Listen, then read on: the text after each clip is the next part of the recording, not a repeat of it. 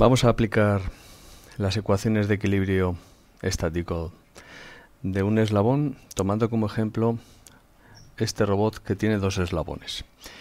En dicho robot hemos dispuesto los sistemas de referencia según de David Hattenberg. Tiene dos articulaciones rotacionales tita 1 y tita 2. Tita 1 y tita 2.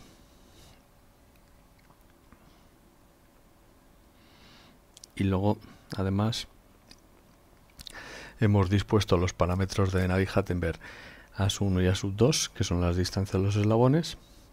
Hemos ubicado los centros de masas en estos puntos, en estos puntos supuestamente que pertenecen a dichos eslabones y luego hemos dispuesto el sistema referencia 2 en el efector terminal. Empezamos por identificar las fuerzas.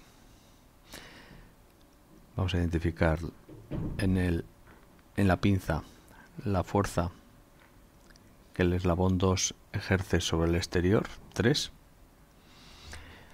Vamos a identificar aquí vector fuerza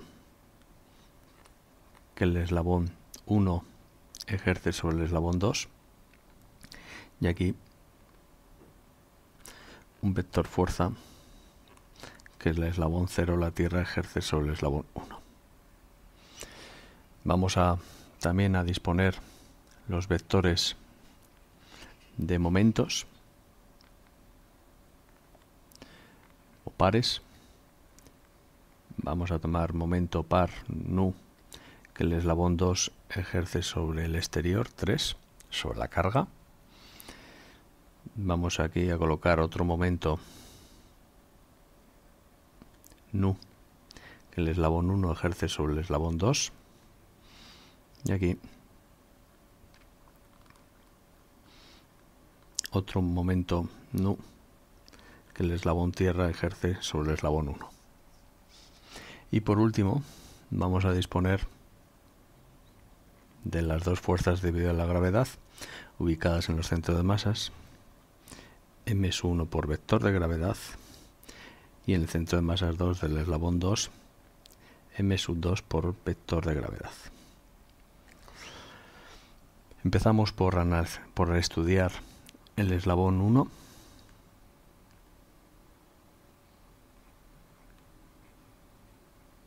y vamos a aplicar equilibrio de fuerzas. Ecuación de equilibrio de fuerzas. Vamos a empezar por el eslabón 2.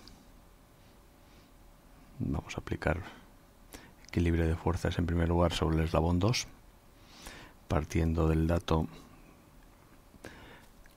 de la fuerza y par que aplicamos sobre la carga. Por tanto, aplicamos equilibrio de fuerza sobre ese primer sobre ese segundo eslabón.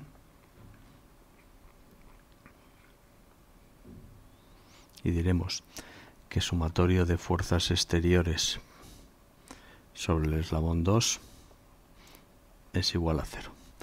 Fuerzas sobre dicho eslabón 2. Tenemos fuerza positiva que el eslabón 1 ejerce sobre el eslabón 2, menos la fuerza negativa que pierde el eslabón 2 para ejercer sobre la carga, 3, y más la masa de dicho eslabón por su vector de gravedad, fuerza gravitacional. De ahí despejamos la fuerza que el eslabón 1 ejerce sobre dicho eslabón 2, objeto de estudio, y eso va a ser igual al segundo miembro de la ecuación, pasamos los otros dos, las otras dos fuerzas, quedándome con, con signo positivo la fuerza que el eslabón 2 ejerce sobre la carga y con signo negativo contrarrestando la fuerza de la gravedad masa m sub 2 por vector de gravedad. Vamos a aplicar ahora equilibrio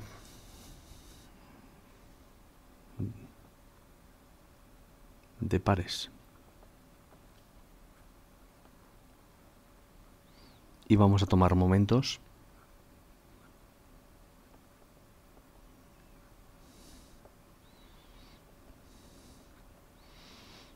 en el centro de masas 2. C sub 2.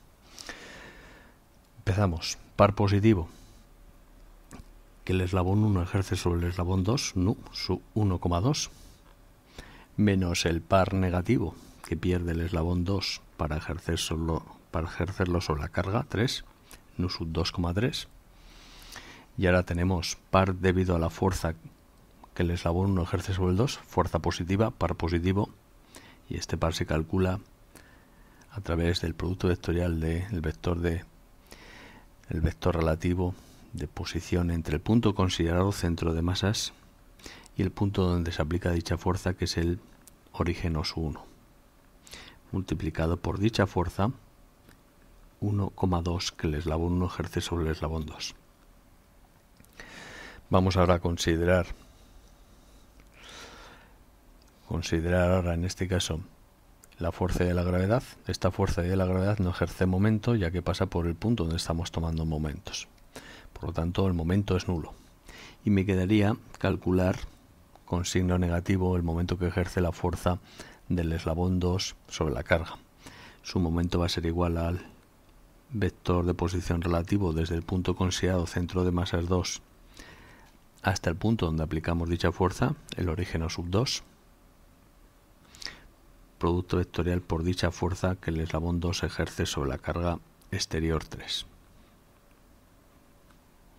De ahí despejamos el par que el eslabón 1 ejerce sobre el 2 y lo que obtenemos es que los otros tres sumandos pasan al segundo miembro de la ecuación con signos cambiados. Par que el eslabón 2 ejerce sobre la carga exterior 3 positivo menos vector de posición desde el centro de masas 2 hasta el origen OSU 1 producto vectorial por la fuerza que el eslabón 1 ejerce sobre el 2 y con signo positivo vector de posición relativo desde el centro de masas 2 hasta el origen 2 por vector de fuerza relativo que el eslabón 2 ejerce sobre la carga exterior. Generalmente los vectores de posición van a partir de los orígenes del sistema de referencia 1 y 2, por lo tanto, este vector, si cambiamos el punto inicial de ese vector de posición relativo, cambiará por tanto su signo y quedará vector de posición relativo que parte del origen OS 1 y finaliza en el centro de masas 2 e igualmente en este otro vector de posición relativo cambiamos el punto inicial y el punto final y le cambiamos le añadimos un menos 1 partiendo el origen sub 2 hasta morir en el centro de masas 2, quedándome la expresión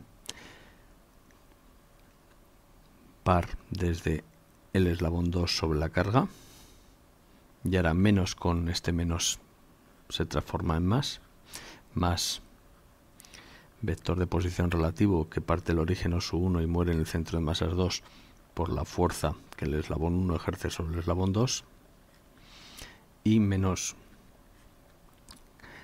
el vector de posición relativo que parte del origen del sistema de referencia 2 hasta llegar al centro de masas 2, producto vectorial por la fuerza que el eslabón 2 ejerce sobre el exterior. Si sustituimos si sustituimos ahora eh, sustituimos la fuerza eh, la fuerza F sub 2 3 obtenida en la ecuación de equilibrio de fuerzas. En esta segunda en esta ecuación de equilibrio de pares lo que vamos a obtener es la ecuación de equilibrio de pares tomando momentos en el punto origen O sub 1 pues voy a tomar ahora momentos. Si ahora tomo momentos en el origen OSU 1, me va a quedar que el equilibrio de pares será par que el eslabón 1 ejerce sobre el eslabón 2 menos el par que el eslabón 2 ejerce sobre la carga 3. Y ahora tomando este punto origen o su 1, la fuerza que el eslabón 1 ejerce sobre el 2 pasa por dicho punto, su momento va a ser nulo y ahora sí que tendré un par debido a la fuerza de la gravedad. Debido a la fuerza de la gravedad, su fuerza es positiva, genera un par positivo que se obtiene multiplicando el vector de posición relativo desde el punto considerado origen o su 1 hasta el centro de masas 2, producto vectorial por la fuerza que es la masa por la gravedad. Y también tenemos el momento debido a la fuerza que el eslabón 2 ejerce sobre la carga 3. Esa fuerza, en este caso es negativa, genera un par negativo obtenido como el producto vectorial de la distancia que dais desde el punto considerado origen 1 hasta el punto donde se aplica la fuerza origen sub 2 por dicha fuerza que el eslabón 2 ejerce sobre el eslabón 3. A esta ecuación se llega, repito, sustituyendo sustituyendo la fuerza F12 deducida en la ecuación de equilibrio de fuerzas en la ecuación de equilibrio de pares tomando momentos en C 2, centro de masas 2. Bueno, pues ahora vamos a estudiar el eslabón 2. Perdón, el eslabón 1. Vamos hacia atrás. Hemos comenzado por el eslabón último y vamos a aplicar ahora ecuaciones de equilibrio sobre el eslabón 1. El eslabón 1, equilibrio de fuerzas. Sumatorio de fuerzas exteriores sobre dicho eslabón 1 es igual a 0. Eso equivale a decir que fuerza que el eslabón 0 la Tierra ejerce sobre el 1, positiva, menos la fuerza que el eslabón 1 pierde para dársela al eslabón 2, más la fuerza positiva de debido a la gravedad m es 1 por la gravedad, es igual a 0. Y de ahí despejamos la fuerza que se debe ejercer sobre el eslabón 1 desde la Tierra, sin más que pasando al segundo miembro de la ecuación los otros dos sumandos, F es 1,2 y con signo negativo la fuerza de la gravedad m es 1 por g. Y ya para acabar, vamos a aplicar equilibrio equilibrio de pares. Sumatorio. Vamos a tomar momentos.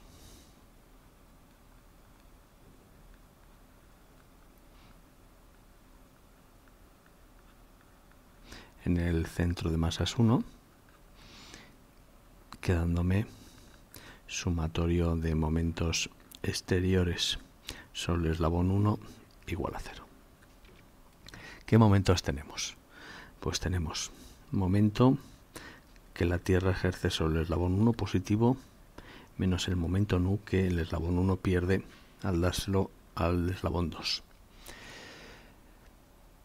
Luego tendremos la fuerza positiva que el eslabón 0 Tierra ejerce sobre el eslabón 1, su momento será positivo y obtenido a través del producto vectorial del vector de posición relativo desde el punto considerado centro de masas hasta donde se aplica dicha fuerza origen o su cero, producto vectorial por dicha fuerza que la Tierra ejerce sobre el eslabón 1.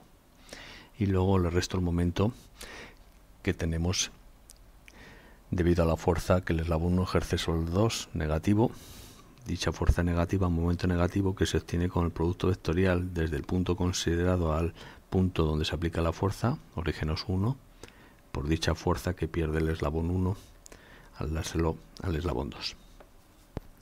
En este caso, lo que tenemos es que la fuerza debida a la gravedad pasa por el punto donde estamos tomando momentos y su momento es nulo.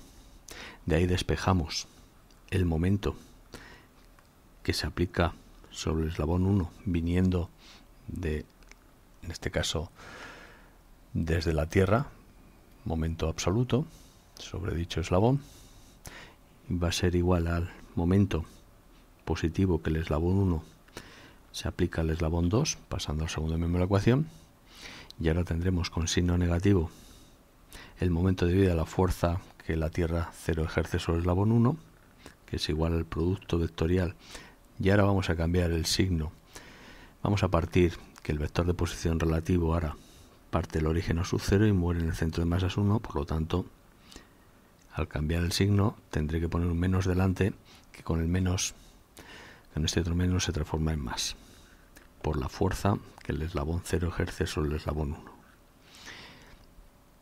Y lo mismo ahora tendremos que pasa con signo positivo.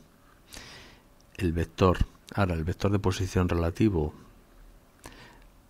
le cambio el signo, parto desde el origen 1 y muere el centro de masas 1 y multiplicado por la fuerza relativa desde el eslabón 1 hacia el eslabón 2. Bueno, pues si ahora tomo momentos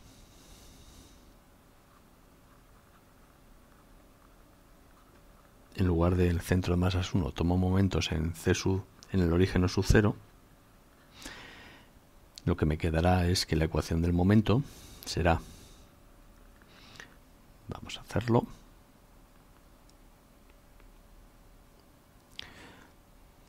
momentos, momento aplicado sobre el eslabón 1 viniendo de 0, menos momento que se pierde del eslabón 1 al 2. Ahora tendremos que la fuerza que la Tierra ejerce sobre el eslabón 1 pasa por el origen sub 0, por lo tanto dicha fuerza no va a ejercer momento. Y sí que va a ejercer momento positivo la fuerza de la gravedad, que se obtiene multiplicando la distancia relativa que hay desde el origen, en este caso sub 0, hasta el centro de masas 1. En este caso es un vector absoluto, ya que el sistema de referencia es el 0, multiplicado por dicha fuerza de la gravedad m1 por g. Y tendré que le restar le tendré que restar el momento debido a la fuerza del eslabón 1 aplicado sobre el eslabón 2, partiendo del vector de posición relativo desde el punto considerado 0 hasta llegar al sistema de referencia, al origen del sistema de referencia 1, por dicha fuerza relativa que pierde el eslabón 1 para dárselo al 2, quedándome que el momento aplicado desde la Tierra al eslabón 1 se obtiene paso al segundo miembro de la ecuación los otros tres sumandos, que igualados a cero me daban la ecuación de equilibrio de momentos. Lo mismo que aquí. Se me ha olvidado igualarla a cero para despejar, como estoy haciendo ahora. Y me quedará momento, repito, aplicado desde el eslabón 0 al eslabón 1. Será igual al momento del eslabón 1 aplicado al eslabón 2 y pasa al segundo de ecuación con signo negativo el momento debido a la fuerza de la gravedad, que es el producto vectorial del vector de posición relativo desde el origen de su cero al centro de masas 1 por la gravedad, fuerza de la gravedad ms1 por g, y pasa con signo positivo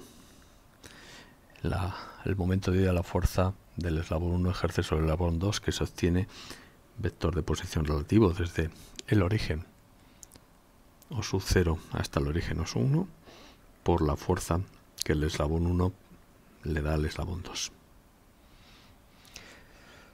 Esta ecuación equivale a la anterior, pero en este caso hemos tomado momentos en otro punto. Para finalizar, destacar que todas estas ecuaciones que hemos establecido ahí, que hemos fijado ahí, son ecuaciones vectoriales en las cuales los vectores no se han definido, no se ha definido respecto a qué sistema de referencias están expresando sus coordenadas. Podrían expresarse tranquilamente todos los vectores en el sistema de coordenadas cero si es que se conocen todos los datos de, los vectores en el sistema de referencia cero, pero también se podrían haber definido en otro sus coordenadas en otro sistema de referencia. Ya por finalizar voy a poner todos los resultados en el sistema de referencia cero Pero repito, no tiene por qué ser así.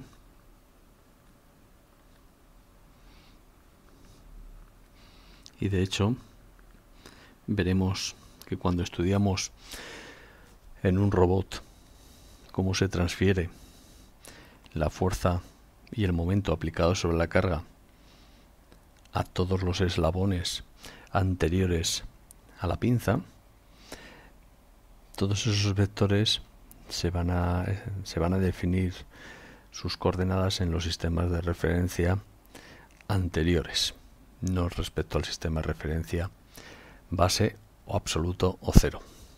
Eso es todo.